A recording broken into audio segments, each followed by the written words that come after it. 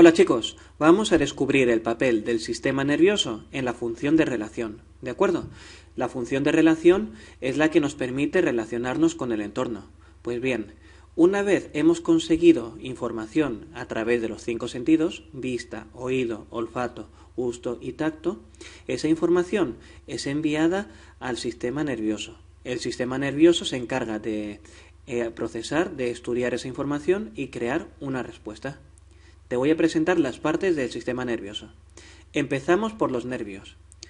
Los nervios están eh, a lo largo y ancho de todo el cuerpo. Son eh, como estos filamentos verdes que ves aquí. Forman una red que capta la información de los sentidos y envían esa información. Esa información la envían a través de la médula espinal. La médula espinal se encuentra dentro de la columna vertebral y la información llega finalmente al encéfalo. ¿De acuerdo? Por ejemplo, te dan un pisotón y tú notas dolor en los nervios. Ese dolor es enviado a través de la médula espinal y llega al encéfalo. Y el encéfalo analiza la información, me duele, y elabora una respuesta. Voy a apartarme. Te voy a explicar cuáles son las partes del encéfalo. El encéfalo está formado por tres partes. Primera, el cerebro. Es la que recibe la información de los sentidos, la analiza y elabora una respuesta. Además, en el cerebro eh, se encuentra el control de la memoria, del lenguaje y de las emociones.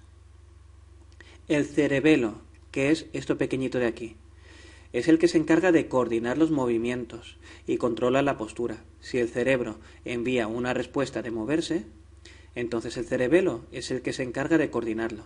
Y finalmente el tronco encefálico, que es el que baja, que regula las funciones que hacemos sin pensar, como puede ser respirar, los latidos del corazón o cuando tenemos eh, tos.